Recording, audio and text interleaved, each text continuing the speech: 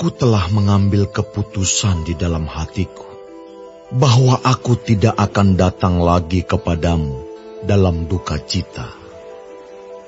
Sebab jika aku mendukakan hatimu, siapa lagi yang dapat membuat aku menjadi gembira selain dia yang berduka cita karena aku?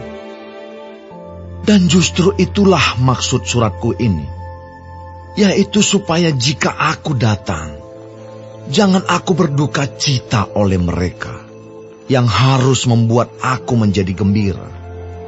Sebab aku yakin tentang kamu semua, bahwa sukacitaku adalah juga sukacitamu. Aku menulis kepada kamu dengan hati yang sangat cemas dan sesak, dan dengan mencucurkan banyak air mata bukan supaya kamu bersedih hati, tetapi supaya kamu tahu betapa besarnya kasihku kepada kamu semua. Tetapi jika ada orang yang menyebabkan kesedihan, maka bukan hatiku yang disedihkannya, melainkan hati kamu sekalian. Atau sekurang-kurangnya, supaya jangan aku melebih-lebihkan hati beberapa orang di antara kamu.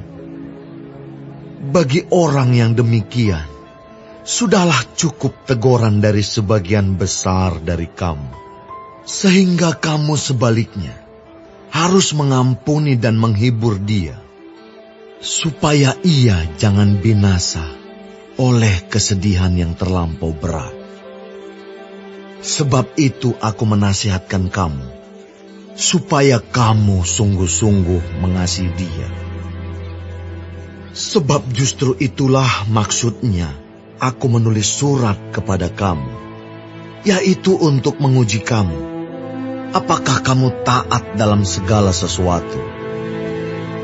Sebab barang siapa yang kamu ampuni kesalahannya, aku mengampuninya juga. Sebab jika aku mengampuni, seandainya ada yang harus kuampuni, maka hal itu kubuat oleh karena kamu di hadapan Kristus.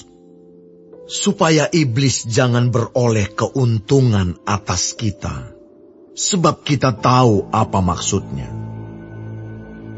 Ketika aku tiba di Troas untuk memberitakan Injil Kristus, aku dapati bahwa Tuhan telah membuka jalan untuk pekerjaan di sana.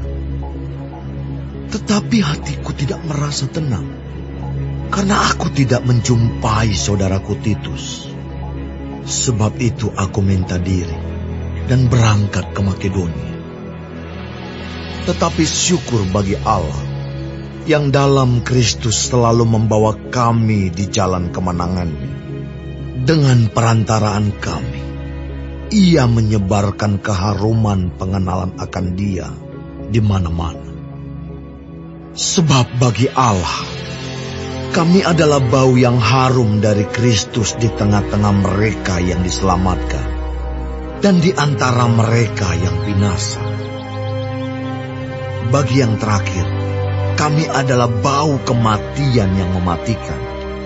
Dan bagi yang pertama, bau kehidupan yang menghidupkan. Tetapi siapakah yang sanggup menunaikan tugas yang demikian? Sebab kami tidak sama dengan banyak orang lain yang mencari keuntungan dari firman Allah. Sebaliknya, dalam Kristus kami berbicara sebagaimana mestinya, dengan maksud-maksud murni, atas perintah Allah dan di hadapan